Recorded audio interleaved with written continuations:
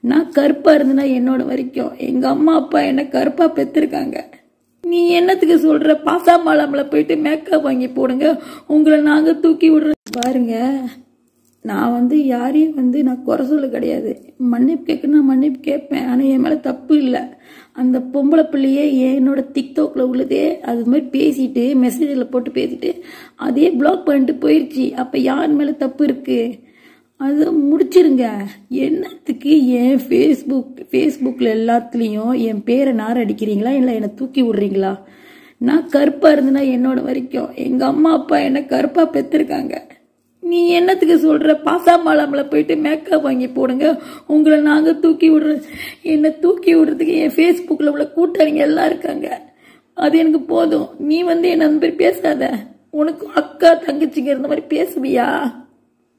என்ன கருப்பா அவளை கேவலமா பேசுற? ஏன்? நான் கேக்குறேன் ஏன் இந்த மாதிரிலாம் பேசுறீங்க?